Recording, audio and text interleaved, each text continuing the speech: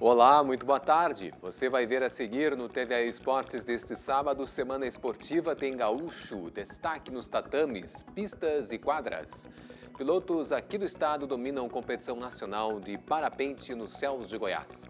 Autódromo Velopark recebeu as principais categorias do automobilismo gaúcho e mais, rugby, vôlei, entrevista e agenda esportiva. TVA Esportes está começando.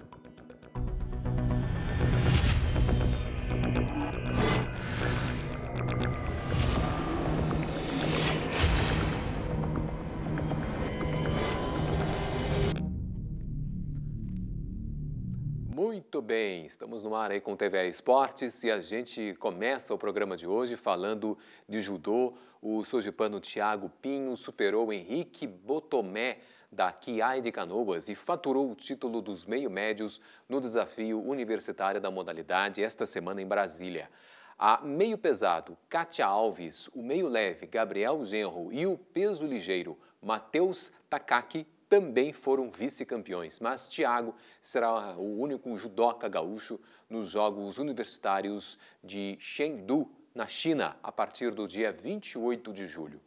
Na Argentina, seu colega de clube, o meio-pesado Leonardo Gonçalves, conquistou o Open Pan-Americano de Córdoba na categoria meio-pesado. Ao todo, a seleção brasileira arrematou três medalhas de ouro e duas de bronze. Gonçalves subiu no ponto mais alto do pódio na categoria até 100 quilos. Para ficar com ouro, ele venceu Santiago Morales, da Argentina, e Rafael Romo, do Chile. O circuito Open Pan-Americano deste ano ganhou um valor a mais, além dos 100 pontos no ranking olímpico. É que a Confederação Pan-Americana de Judô criou um ranking classificatório para os Jogos Pan-Americanos de Santiago. As etapas de Open valem até 200 pontos nesse sistema. Pelo calendário, haverá mais três etapas classificatórias para Santiago até o fechamento do ranking: Open de Guayaquil, Open da Bahia e Open de Lima. Atletismo.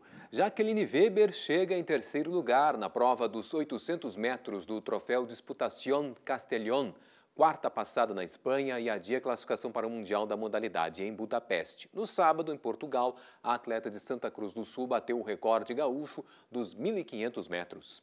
Jaqueline Weber cumpriu o percurso do meeting de Lisboa em 4 minutos, 14 segundos e 83 centésimos, menos de um segundo atrás de Tatiana Silva, que chegou em primeiro. Foi a oitava melhor marca do atletismo brasileiro nos 1.500 metros e novo recorde estadual da prova.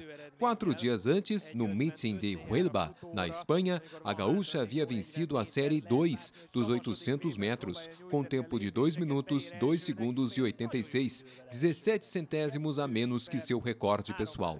Jaque superou a concorrência de oito adversárias e ficou exatamente um segundo à frente da vice-campeã, a colombiana Rosa Escobar.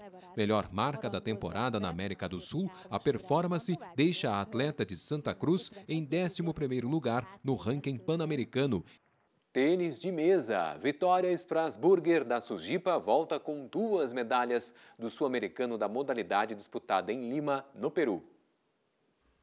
A mesa tenista foi medalha de prata por equipes e bronze na dupla feminina. No geral individual, Vitória ficou na quinta colocação, mesma posição nas duplas mistas. A equipe feminina foi composta por Bruna Alexandre, Laura Watanabe, Julia Takahashi e Vitória Strasburger. Na final, vitória chilena por 3 sets a 1. A delegação se despediu do Campeonato Sul-Americano com nove medalhas na bagagem, sendo ouro com Julia Takahashi no individual e também por equipes masculina. Os brasileiros derrotaram o Peru por 3 a 2. Equipes aqui do estado faturam pódios em competição tradicional de voleibol feminino no Vale do Taquari. O vôlei gaúcho conquistou uma prata e um bronze numa das mais tradicionais competições latino-americanas de base da modalidade, o Festival Internacional Cidade de Estrela de Voleibol Feminino.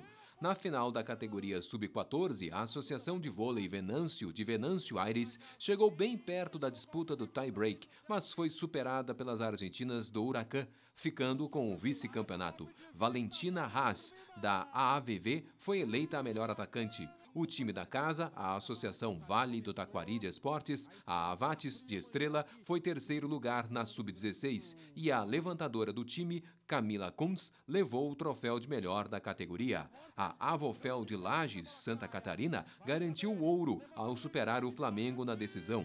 No Sub-19, as meninas do Minas Tênis foram as campeãs e os catarinenses Nova Trento e Guaraciaba faturaram a prata e o bronze. Reunindo 88 equipes de 43 clubes de seis estados brasileiros e de outros países, a 16ª edição superou o recorde anterior de participação em 2018.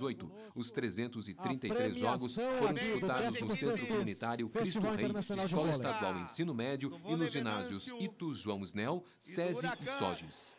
America's Rugby Trophy. O Brasil disputa o título inédito, perde para a Colômbia e a taça vai para o time sub-23 dos Estados Unidos. A competição de rugby 15 feminino confrontou as três seleções fim de semana passado no Mato Grosso. Depois do empate com o time estadunidense em 15 a 15 no sábado, as Iaras precisavam vencer as colombianas por pelo menos quatro pontos de diferença no domingo. Derrotadas pelos Estados Unidos na quarta-feira, a vizinha sul-americana entrou em campo sem chance de título, mas dominaram o confronto e acabaram superando as brasileiras por 18 a 15. Única gaúcha em campo, Bárbara Caroline Leal, do Charrua de Porto Alegre, jogou com a camisa 5. Colômbia e Brasil voltam a duelar dias 5 e 9 de julho em Medellín, valendo classificação ao W15, a nova Liga Mundial de Rugby, em outubro.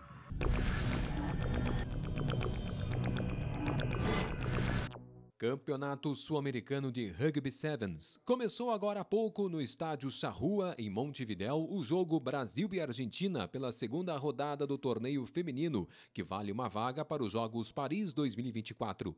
Eleita melhor jogadora do país no ano passado pelo Comitê Olímpico Brasileiro, a hooker Luísa Campos, do Charrua de Porto Alegre, é a única representante do rugby gaúcho na delegação. A seleção brasileira foi campeã de todos os torneios continentais que e pode chegar ao 21º título. As Iaras estrearam esta manhã diante do Peru e voltam a campo às duas e meia da tarde para encarar o Chile. A seleção chilena também é a próxima adversária do time masculino, logo mais, 5 para uma da tarde. O pré-olímpico sul-americano de Rugby Sevens acontece ao longo deste sábado e domingo, com finais marcadas para amanhã a partir das 6 da tarde.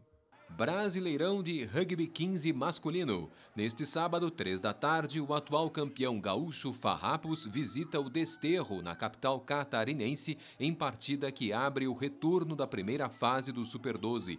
A equipe de Bento Gonçalves lidera o Grupo A com 10 pontos, um a mais que o Charrua, em segundo, que enfrenta o Joaca de Santa Catarina no próximo final de semana em Porto Alegre. Uma vitória praticamente garante os representantes gaúchos no Hexa hexagonal da segunda fase. A dupla Grenal volta a campo pelo Campeonato Brasileiro na próxima quinta-feira, dia 22, após uma semana inteira de data FIFA destinada aos compromissos das seleções nacionais. A partir das sete da noite, o Grêmio recebe o Fortaleza na Arena. A derrota para o Flamengo por 3 a 0, domingo, no Rio de Janeiro, derrubou o tricolor para a sexta colocação na tabela com 17 pontos. Em décimo, com 14, o Internacional tem compromisso às 8 da noite com o Coritiba, na capital paranaense. O Colorado vem de vitória na última rodada por 2 a 1 diante do Vasco da Gama no Beira-Rio. Vamos agora aí para um rápido intervalo, mas já voltamos com mais TVE Esportes.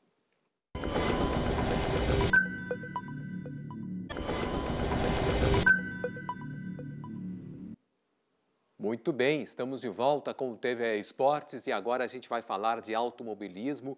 O último final de semana foi marcado também por velocidade, emoção e pegas no Velopark.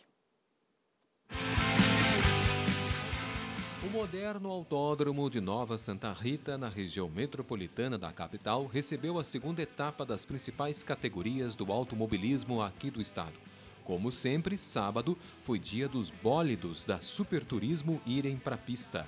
A corrida de duas horas foi eletrizante, com muitas disputas pelo comando desde as primeiras voltas. Faltando menos de cinco minutos para a bandeirada, o MC40 da dupla Tiel de Andrade e Júlio Martini tinha a vitória na mão, mas um problema eletrônico fez o carro número 5 cair para a terceira posição. Quem se deu bem, então, foi o trio Arthur Calef, Rafael Biancini e Telmo Tecchio, com o Lamborghini número 80, que cruzou a linha de chegada no primeiro lugar. No domingo, o programa prosseguiu com quatro provas da Turismo 1.4 e duas da Copa Classic. Na Turismo, o vencedor geral na classe A foi Bernardo Cardoso com o Onix número 11. Já nos Velhozes e Furiosos, Tonho Sala e Leonardo Passarinho, ambos com Fusca, saíram vencedores. A próxima etapa das três categorias está marcada para o fim de semana de 12 e 13 de agosto no Autódromo Internacional de Tarumã. No último domingo foi disputado o Campeonato Gaúcho de Kart Indoor e Luiz Sena Júnior, o Seninha, não deu chance para ninguém. O piloto de Caxias do Sul, que acumula títulos em várias categorias do automobilismo gaúcho e brasileiro, venceu as duas classes em disputa, a Master e a Graduados. Realizado no Piquet Kart, em Porto Alegre, o gaúcho de kart em pista coberta reuniu 22 kartistas nas duas categorias. Na pista, três baterias definiram os novos campeões gaúchos, com Seninha a ficar com a taça em ambas. Na Master, completaram o pódio Pedro Henrique Santos e Laerton Souza Júnior. Já na Graduados, Laerton Souza Júnior ficou na segunda colocação, com Jean Picoloto no terceiro lugar.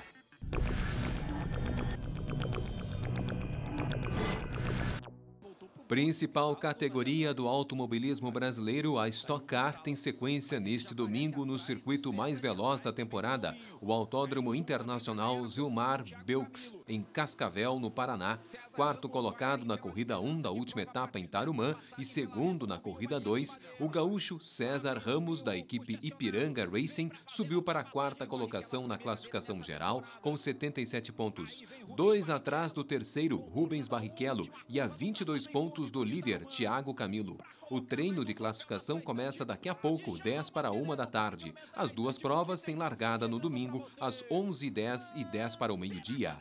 Mas antes tem prova da categoria de base da competição, a Stock Series. A primeira das três baterias larga neste sábado, 2h20 da tarde. As demais começam a 1h15 e 5 para as 2 da tarde de domingo. Na etapa anterior, no circuito de Viamão, o pelotense Gabriel Robe, da Garra Racing, venceu duas corridas e chegou em segundo na outra, assumindo a vice-liderança do campeonato com 136 pontos, 5 a menos que Zezinho Mugiati. Em terceiro, com 116, está o seu colega de equipe, Arthur Gama, melhor novato da temporada. Autor da volta mais rápida da etapa, o piloto porto-alegrense completa 18 anos no próximo sábado. A cidade de Arroio do Meio, no Vale do Taquari, dá a largada neste final de semana para o Campeonato Brasileiro de Velocross 2023.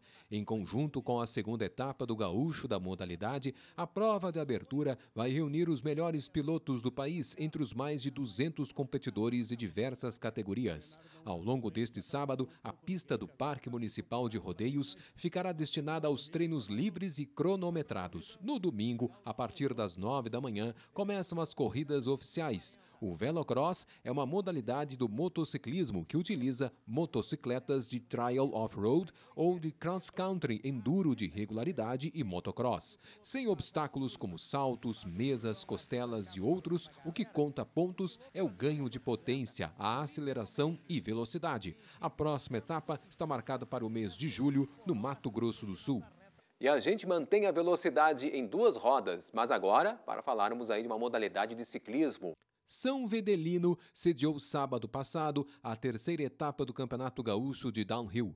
Com um dos circuitos mais radicais da competição, o município da Serra Gaúcha é sede do campeonato desde os anos 1990. A pista do Pequeno Paraíso tem 1.800 metros de extensão. Os bikers largam do alto do morro, cruzando o Salão Paroquial e a Rua Cônego Caspari, até a chegada no campo da comunidade evangélica. Promovido pela Federação Gaúcha de Ciclismo, o Gaúcho de Downhill terá sequência dias 12 e 13 de agosto em Três Coroas, prova válida também pelo ranking brasileiro. E a gauchada foi destaque no Circuito Nacional de Parapente que aconteceu em Formosa, no interior de Goiás. As disputas reuniram cerca de 80 competidores de vários estados do país que participaram da Copa Brasil Esporte e do Circuito Centro-Oeste de Parapente. Na Copa Brasil Esporte, Mauro Carbelon, do Clube Serra Grande de Igrejinha, foi vice-campeão da classe Esporte. Já na Sportlight, os atletas filiados à Associação Gaúcha de Voo Livre de Sapiranga dominaram a prova. Eduardo da Silva, de Portão, foi o vencedor e Fábio Gomes, de Bento Gonçalves, ficou na segunda colocação. No circuito Centro-Oeste, eles inverteram as posições. Fábio foi campeão, com Eduardo em segundo, pela classe Sportlight. Mauro Carmelon subiu novamente no pódio, com a terceira posição na categoria Open. Presidente da Federação Gaúcha, Flávio Pinheiro, foi o quinto colocado na Open. E sobre o Circuito Nacional de Parapente, a prática da modalidade e as próximas competições, o TVA Esportes conversou com o piloto e presidente da Associação Gaúcha de Voo Livre, Luciano Horna, que está de volta ao Brasil depois de disputar o Campeonato Mundial na França. Dá uma olhada.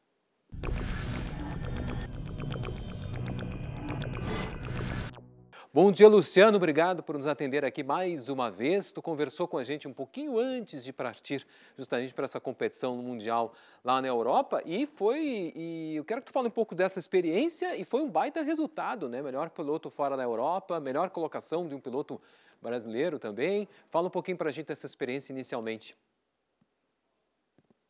Bom dia, Marcelo. Bom dia a todos.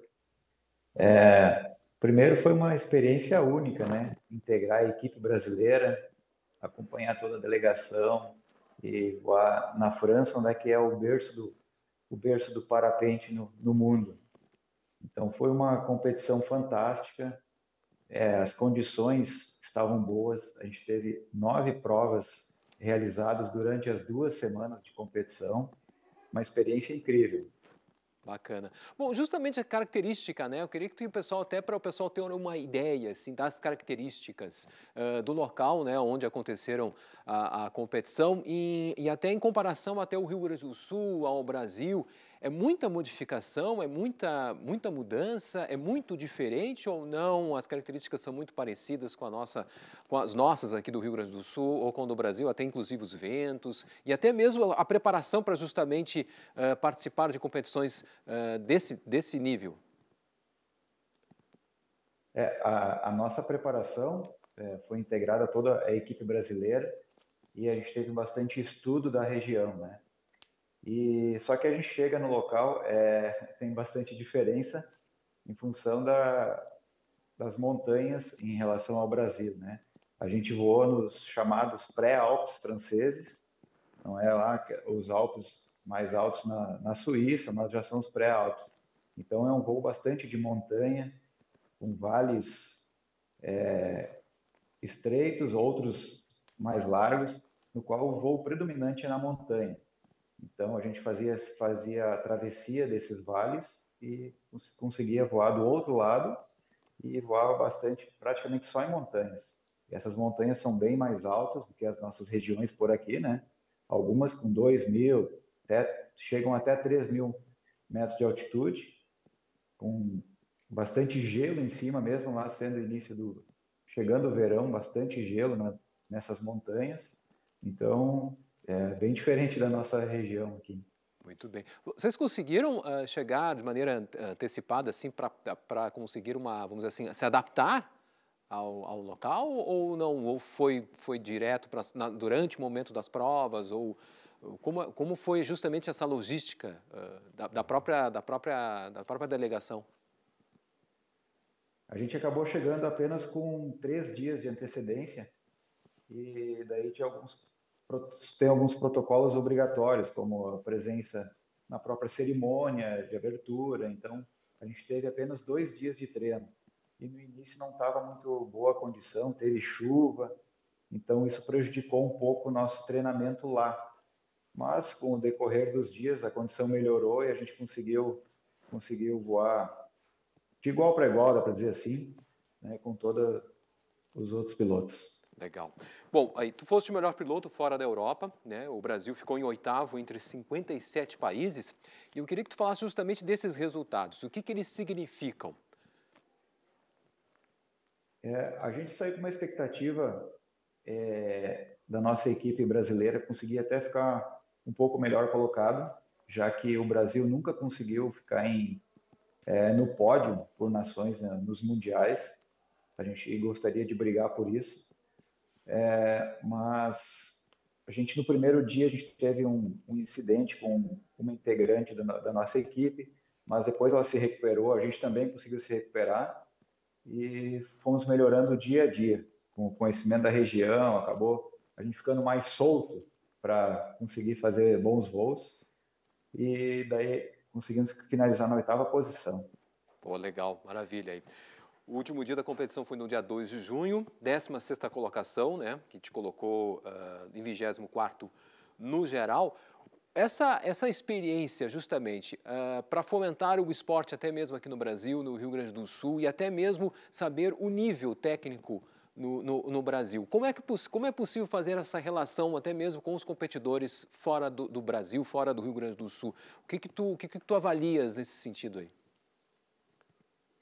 A gente trouxe bastante experiência na bagagem. É, a gente tem que se espelhar nos franceses. É, eles, sendo os donos da, da casa, eles venceram no masculino, no feminino, venceram por, por país, foram os grandes campeões. E a gente pode observar que eles têm um foco na base. Né? Desde a base, eles têm técnico que auxiliam toda a base e os pilotos vão passando da, os níveis de voo, subindo nas suas categorias, sempre com auxílio de instrução e muita teoria. Eles estudam muito isso. Então, essa é a principal experiência que a gente traz nessa bagagem para nós começar a aumentar este treinamento aqui no Rio Grande do Sul, no Brasil, mas focar principalmente na nossa base, para conseguir preparar os pilotos é, com que eles consigam chegar mais cedo para disputar de igual para igual na, nas competições. Bacana. Esse trabalho da, da associação, ele tem que acontecer justamente junto aos clubes? Uh, de que maneira que poderia acontecer justamente essa, essa, esse, esse, incentivo na base? É, a gente tem projetos que, que acabam auxiliando nisso, sendo é, com a Federação Gaúcha, né, em parceria com a Federação, a gente faz esses treinamentos e para que todos possam melhorar. Bacana, maravilha. Bom, agora, uh, o, que, que, tá pra, o que, que vem pela frente aí de competições, até em âmbito nacional, aqui do, ou mesmo aqui no mesmo no, no, no Rio Grande do Sul?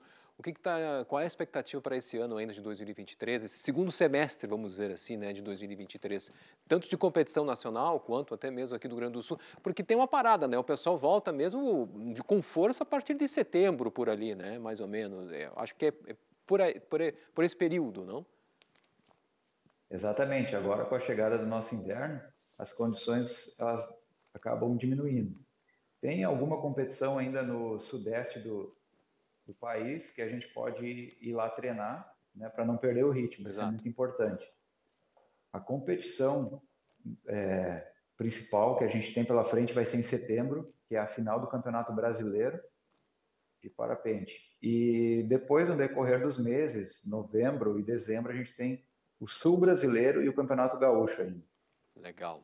E o pessoal vai poder obter essas informações aí junto à associação, né, a Associação Gaúcha de Voo Livre ou até mesmo na federação, né? O pessoal, tanto o pessoal que tem interesse, né, com justamente fomentação de base ou né, saber mais sobre o esporte, também nesses dois canais é possível também, né, né Luciano? Isso aí, é só acompanhar nosso Instagram, a gente tem bastante informações lá e procurar nos procurar para para acompanhar essas competições. Legal, vamos, vamos incentivar, bacana aí, a, o voo livre aqui no Rio Grande do Sul e no Brasil, com certeza, e, e o pessoal aí alçar voos mais forte aí no âmbito internacional.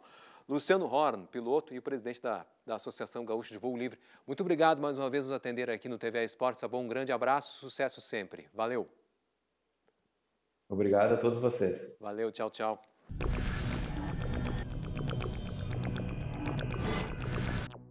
TVE Esportes vai ficando por aqui. A gente volta na segunda-feira, ao longo da semana, sempre ao meio-dia.